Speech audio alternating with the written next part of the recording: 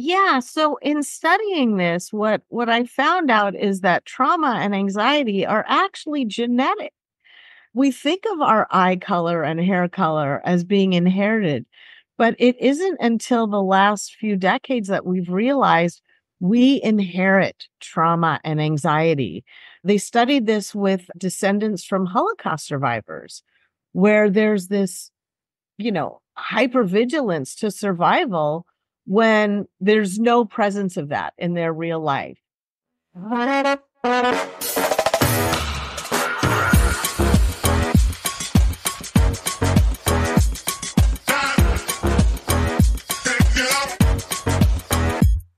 Welcome to Out of the Box with Christine. Are you willing to step into your greatness?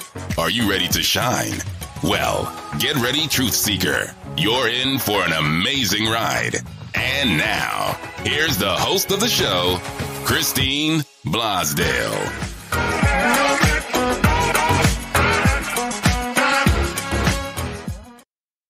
Welcome back to, excuse me. Welcome back to Out of the Box with Christine. I am your host, Christine Blosdale, your expert authority business coach, helping entrepreneurs, solopreneurs, and just about everybody else get their message out to the world in a fun, unusual way.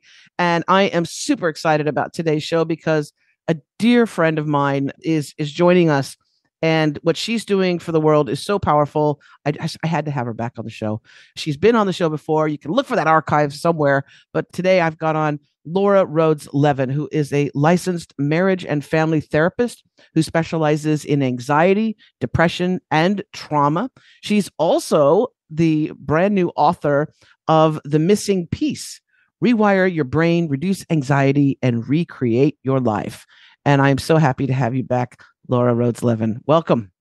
So glad to be back. I am a Blosdale fan. I, I bring so much joy and spontaneity to my life on a regular basis. Whenever I see your face pop up on my screen, I my eyeballs and ears open and I go for a little ride. So thank you for making me part of one oh. of the rides. I, you know what, the time we've spent together, and and Laura was actually also one of my uh, clients, my podcast coaching clients, and she has a podcast, by the way. Also, we'll make sure we put a link to that in the show notes so people can can get access to that, as well as a link to get your book, The Missing Peace. But it's called The Missing Peace yeah. or Anxiety, right? So I'm just I'm so proud of you of all the stuff that you've been doing and all the work that you've been doing. It's it's amazing. But welcome back to the show as well. So you've been a little busy the last yeah.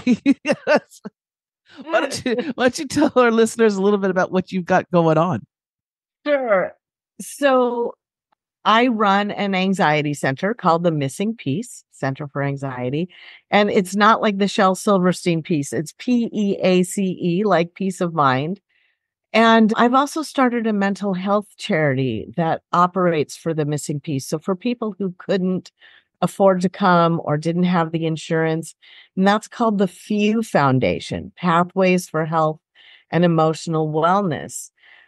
And as someone who struggled deeply with anxiety since I was born, I've studied anxiety. I've tried all sorts of things like drugs and alcohol that didn't work. Well, they work temporarily, but certainly not long term.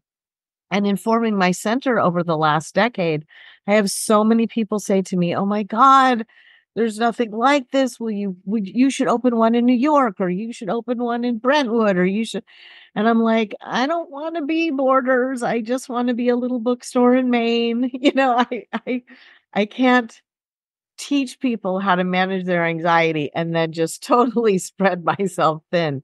So I thought, all right, well, if I wrote a book, if I wrote a book, then the word could get out my tools and my ideas could be all over the place while I sit comfortably in my comfy office. so Fireplace. I wrote the book. Right. Fireplace going, all that. Well, and and as as a fellow author, I know it's there's it's such a great feeling. I don't because I like to create, as you know. I'm a creator, right? Yeah, I like are. to create podcasts and videos and TikToks and books and courses and all of that. But once you do that book And when somebody reaches out to you who's read it and they say, I I got you. I got it. I understood what you were saying or they'll they'll re- they'll ref- refer to something that you've written. That feeling is like, "Oh my gosh, you got it." You know, because as a writer or as a eh, as a creator, you put it out there and you hope people get it, right? But when they give you that feedback, it's just the best feeling in the world. It is. And, you know, I get it. In my younger years, I did comedy and, you know, making someone laugh or having someone tell you, oh my God, you cracked me up. Always, it was the greatest high I ever had. And so I didn't actually think of that now till you just said it like someone coming up and saying, wow, I read that chapter and wow, that's just such a wonderful, exciting idea. Well, and especially since I mean, this like the stuff I do on TikTok, people might say, "Oh, you made me laugh," but the stuff you do really changes people's lives. I mean, it's like we're dealing with some, eh, you know, as the subtitle says, we rewire your brain, reduce anxiety, and recreate your life. Anxiety and depression, man, there's a lot of that. There's a lot. There is people. People are going through a lot, and it's not, and it's not something that's just temporary, you know, not just, oh, it's from the COVID days. We're talking about a lot of times people being born with anxiety, like you were saying, being born or having those those wires of anxiety since the very earliest memories. Can you talk a, a bit about that and your experience personally? Yeah, so in studying this, what what I found out is that trauma and anxiety are actually genetic. We think of our eye color and hair color as being inherited, but it isn't until the last few decades that we've realized we inherit trauma and anxiety. They studied this with descendants from Holocaust survivors, where there's this, you know, hypervigilance to survival when there's no presence of that in their real life. And so I wonder why at four, I living, you know, in Tarzana in a suburb that I thought there was a bear in the closet and that I was about to be kidnapped and, you know, just all these fears that developed in this really innocent brain. And so I've had a chance to go back through my own family history. And the first chapter is is called the trauma baton. It's it's about mm. how it just gets passed along from generation to generation. And then the buck really can stop where you are. It doesn't have to be passed on over and over and over again because we can rewire our brains. And so then we're rewiring what we're passing on. And those neural pathways that are dug so deep so that that the bear in the closet type scenario that we relive over and over and over and over again that that those canals get so deep that that's the go-to right? So that if if if you're in traffic and somebody honks at you ah there's the bear in the closet you know the, right. and that response because it's you're that's where you go. So how rewiring the brain how do you do that well believe it or not it's actually it's more about making habit of rewiring your brain. So our brains are very programmable. If you have to wake up at six in the morning every day for work, you got a new job, you have to wake up at six. For the first few weeks, it's hard, but after a while on a Saturday, you're waking up at six. You've wired your brain to do that. So recognizing how your brain goes to that negative bias, how it goes to worst case scenarios automatically, and then replacing it with different thoughts. It's not enough to just say, don't think that. don't think of the elephant in the right? Right. Uh, you can't just go, it's there's no bear in the closet. Relax. you have to say, listen to the music? Can you hear, you know, the the can you feel the moonlight on your face? Can you can you hear your kitty cat purring? Like actually redirecting what you're used to connecting with is what changes your experience in the world and your frequency, right? Mm-hmm. So you mm-hmm. change your whole radio station and now you're getting life on a completely different dimension than where you started off on. And, and as we're talking about, especially with anxiety, there's you have the generational trauma, which I do want to come back to because man, oh man, that's that's really big. And I think p- nobody really pays attention to that or doesn't understand that that's that's what happens. But also, folks with uh, neurodiversities, as far as far as ADHD, and I know I know someone personally with ADHD, and anxiety is like her middle name, right? But then also pe- people with autism as well. I mean, my goodness, do you have many clients that that that are diagnosed with ADHD or autism and or autism?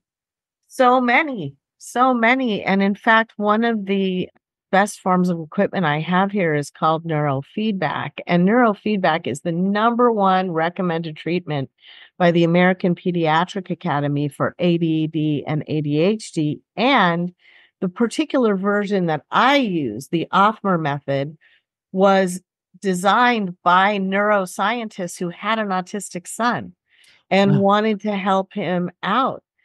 And and a lot of what we do at the center is rather than looking at any of these as a quote disability, this is your special gift, man. This is that we just have to take that special energy and and we you can either go Jedi or you can go Darth Vader and we're we're going Jedi. Yeah. The the planet creates us to be exactly who we are because that's what the planet needed. And once we realize that blending in is the last thing we need to do and when we take all our pain and, and we realize it seasons our unique recipe, then we can serve ourselves up with joy and excitement and, and to people who really get it, people who, you know, and not everyone's going to be your flavor, but they're not your flavor either. So it's, it works out really well. So all these things that the big, big pharma wants to label us with and give us pills for and medicate, that's just part of you, your special you. And how does that work for you in society, as a person, in your heart, in your soul? And that's the recreate your life part, right? Is is finding your your personal true purpose. Because there's only one Christine Blosdale. That's right. only one and we don't want 30. We want you. We want to come to you specifically. No one can be Christine Blosdale like you can. And that's true of everyone in the whole entire world. Yes. And and that is such a big and that is a challenge for those that do have ADHD or autism. It's well with autism a lot of times it's that masking to try and fit in and with ADHD, a lot of times that can be the comparing with other people. You know, other people do this, other people do that, and you know, why am I struggling with this? Mm-hmm. I've I've also with with folks with ADHD, I've I've heard it be compared to as well, like having you know on your computer when you have a lot of tabs open, mm-hmm. right? You're yeah. doing you're totally. Doing, I always say I think that multitasking is like an incredible talent because I, I'm pretty much I like to focus on one thing, get it done, and then go to the next thing. But I my, my wife has many tabs open and she can multitask like nobody's business.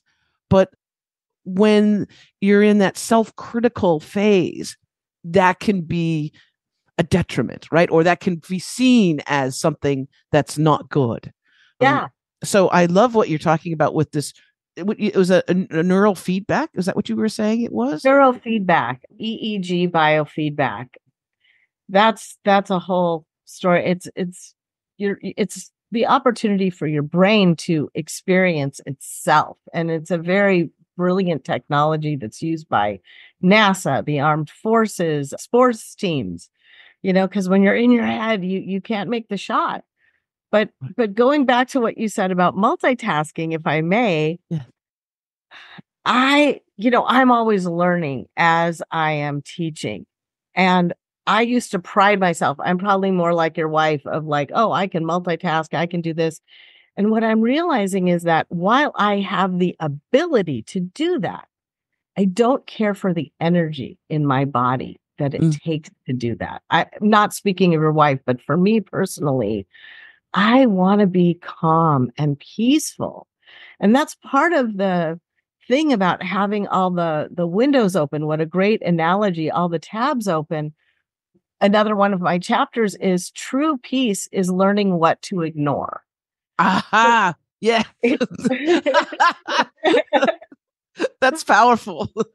Yeah. You can have a bunch of tabs open but that doesn't mean you have to attend to all of them yeah. at one time. You it is it's your grace it's your right it's it's your own inner peace to just focus in on what's what's important to you in that moment and learn how to quiet the noise from all the other channels until until you're ready because then you're really using 100% of your brain all the time right. if you're doing three things at once you really are only using 33.3% of your brain to do each task it's and it and then there's the pressure so there's the pressure to do it right and if you don't do it right then that judgmental anxiety too that comes on as well. It's that's that's yeah. the challenge right? Because you're, well, you're, and the energy you have to drum up to do it all. Yes yeah. I makes me want to take a nap. Right exactly. exactly. And sometimes that's what i do like if i'm overwhelmed like if there's a situation and i i plot myself i'm the turtle you know? I'm i'm not the rabbit i'm the turtle. I'll i'll i'll plot myself out and i'll go right okay i'll look at my day and i'll go well i have this i can oh that's that's pretty jumbled. Okay we got a lot of stuff going on here but then i it's not that i'll take a physical nap. Sometimes i will. I'll just go i gotta go lay down. I gotta go lay down. But but other times i'll take a mental nap. And the yeah. mental nap is look i've got two hours in between this crazy stuff and then this other somewhat crazy stuff. And for those two hours, I am not going to do anything productive, whatever yeah. Is, right?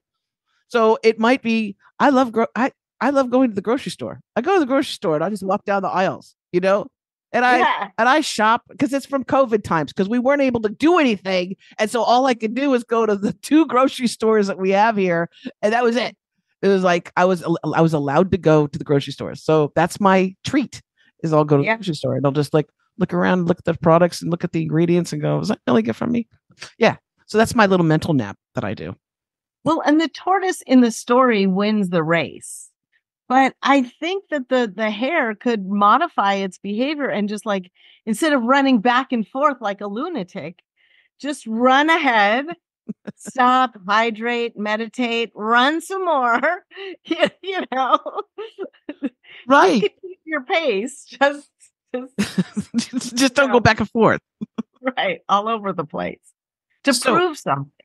Yeah. It, well, yeah, and that's what we have. Mom- we all have moments like that. I think we all have those moments where we push ourselves a bit too much.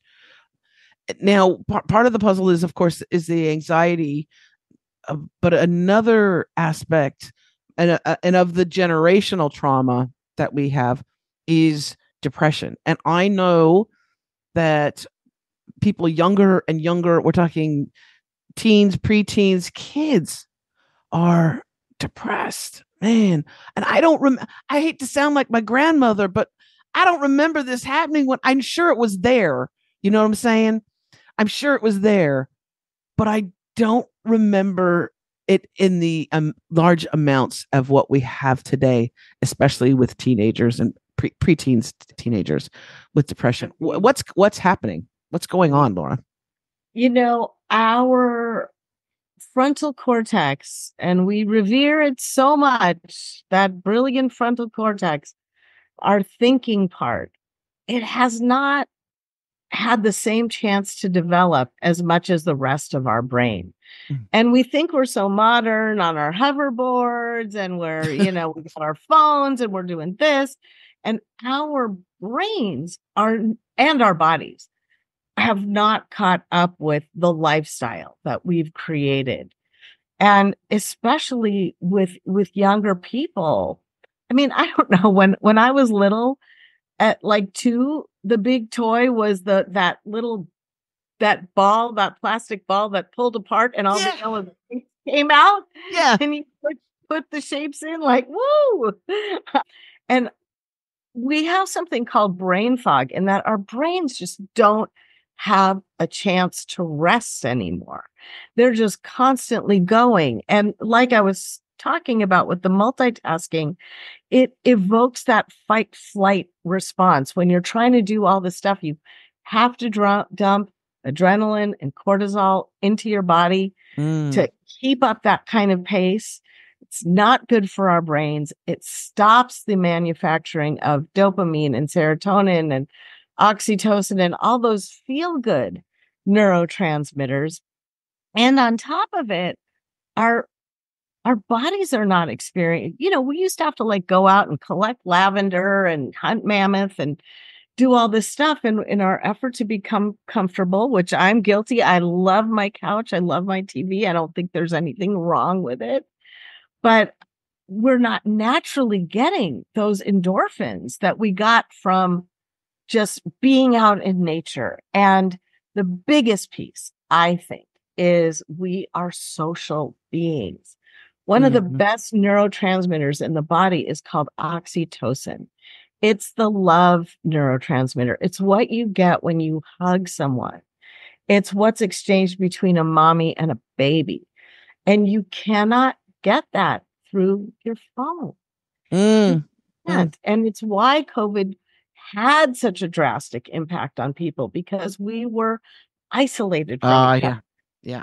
And so we need each other. We need to dance and be in circles and and laugh and and just be together. And and so much of technology has created the illusion of togetherness, but it's not the physical experience. So our brains and our emotions are just they're not in sync anymore.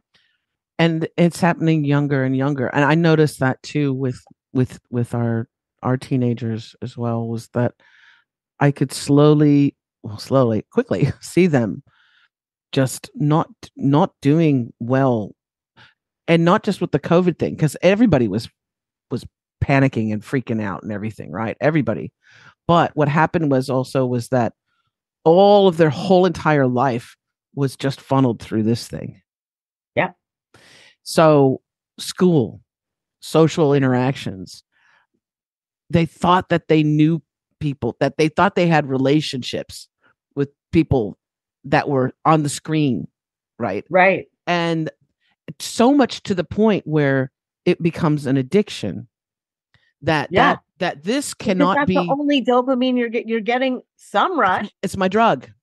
Yeah. So so I'm going to sleep with my drug. I'm going to wake up to my drug. I'm going to go to the bathroom with my drug.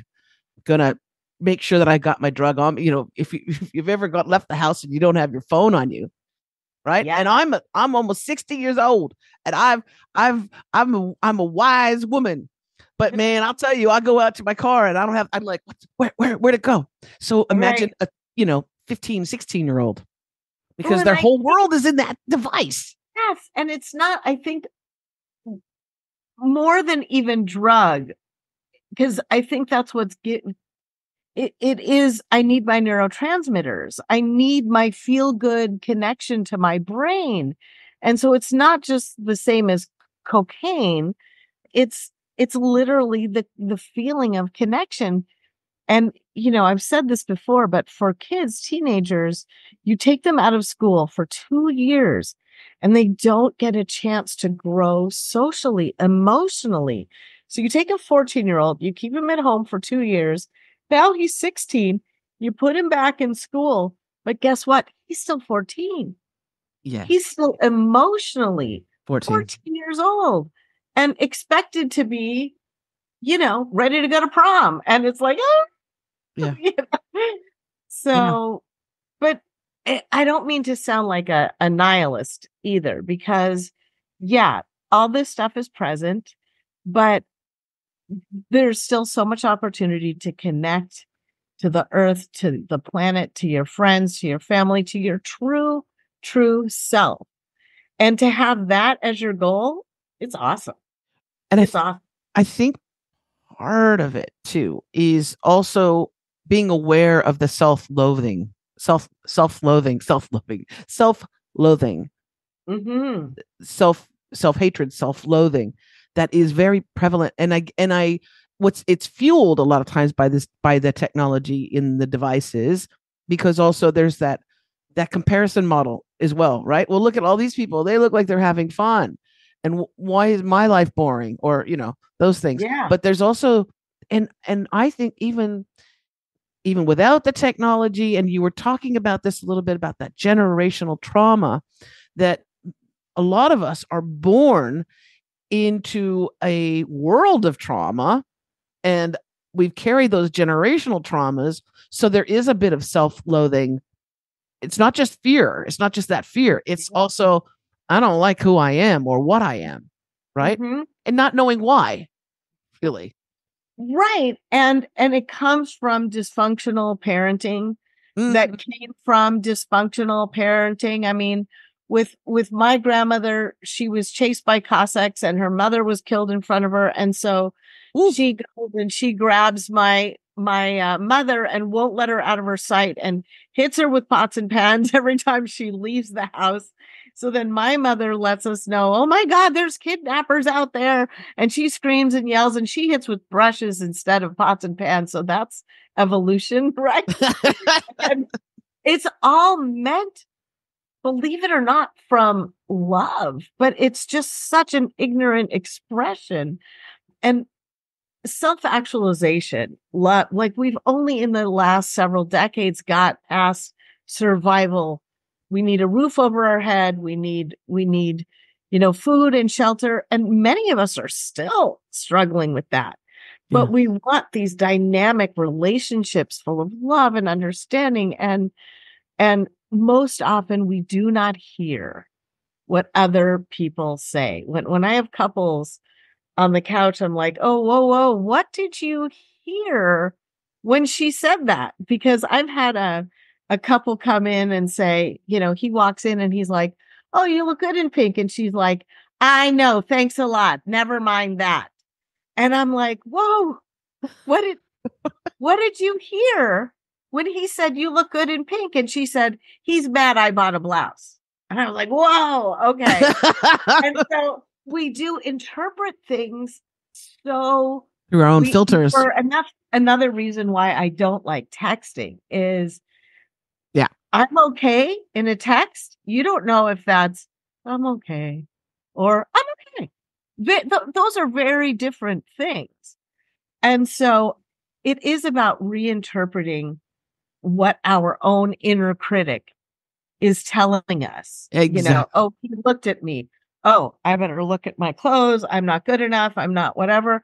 And probably that other person is looking and going, oh, she's prettier than I am. You know, like Yep. all these little hurt feelings and, and emotions are open wounds that people, I shouldn't say emotions are open wounds. Emotional wounds are invisible. And so someone can brush by you and say something that is completely traumatizing to you, but they can't see your emotional wounds. And they just thought they walked by and the wind blew in your direction. And you're like, oh, how could you do that? right right So, you know, at the root of it, corny, it's true, self love. boom Shine your beautiful light, and the people who are meant to bask in that light will shine their beautiful lights back on you and avoid the energy suckers. how do we how do we how do we spread that message of self-love laura other than people getting your book.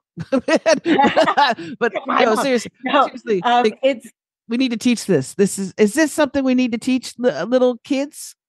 Absolutely it's not happening at home? it's we don't really understand what self-care is. We don't really understand what mindfulness is. And you know i hear so often people say with pride i'm harder on myself than anyone why? Please do not do that to yourself. The the uh, one of again one of my chapters is called the inner critic and it's it's connected to the outcast because we really primitively believe if we're cast out we will die. We need our clan to survive. And so we're very critical of ourselves and it does not work people. It doesn't it doesn't work if you have a little kid next to you who can't do well do well in math you don't say well you're an idiot and you're never going to get good at math. So give it up now and, you know, just call it a day, pal. You need to say you're so close. You're going to get it. You're, you're, you're going to get it. But, and saying this to yourself, because here's the thing whatever you are thinking about yourself, in whichever way you are judging yourself, you are judging others and you believe they are judging you with the same voice that's in your head. And that's the radio station that you're on. It sucks. It's music you don't want to listen to. It's music.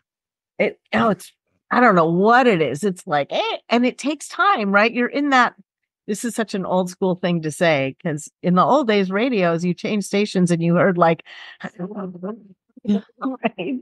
That's the growing part. The but when you really do start being kind to yourself and you know how to be kind to yourself, that's what comes into your life. People are kind to you and because that's what you demand in the most loving way. And people who aren't, you're like, ah, these are not the droids you're looking for. You just you just keep going. Yeah. Next. Um, that's what I say. Go next. Next. Yeah. Next. Exactly. And it is so much of that, like you were saying, that that well, that signal that you that you're sending out, that's harsh, self-critical, self-loathing signal, it attracts. It's it's a powerful yes. energy. Energy is powerful. And you could tell it's as soon as physics. As soon as somebody comes in the door, you can also as soon as somebody walks into the door, you could tell you, their energy. They don't have to say anything. It's the exactly. energy. Yeah. And exactly. so that's oh my goodness, we have so much work to do, Laura, to heal but the world. That's the fun of it. That's why we're here. We're here to do this work. We're we're here to learn how to love this life and and find joy in it. And so if there were no work, you, you know, we it, it would be kind of boring. We we get our light from our darkness. And you know what I I really truly also really love about you is that you uh, like me, you like to learn as you learn you share those experiences with others. So you're on a journey. You're not some holier than thou therapist who's like, sitting with the couch. Tell me Yes, exactly. How was your childhood? right? You're like, you're like, yeah, you know what? I've got a bear in my closet when I was a kid. And I, you know, you're, you're, you're, I just love that you're co-creating and you're co-healing with people, with your beautiful clients, right? That it's a journey that you're taking together instead of this authoritarian, authoritarian sort of, you know, thing. Yeah. It just, it's just so beautiful. And, and, and and more and more people should be doing that in their in their respective fields. I don't. Doesn't matter if you're a teacher or if you're a therapist or you're a media coach. Have, having that sort of journey and connection with people is so powerful. I'm so happy for you. I'm so proud of you. I'm so I'm just eh, just delighted that you you come on the show today and that you've got this great new book. So the uh, the full title again is I'll show you. Can I do that? Yes. For those that are watching on YouTube, you can see this. And if you're listening to the podcast, you can go to YouTube and you can actually see the cover of the book.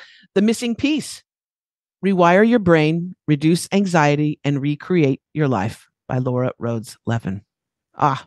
And if you are ordering on Amazon, it keeps changing piece, P E A C E, to P I E C E. So just put in my name, Laura Rhodes Levin the missing peace, and then the book will come up.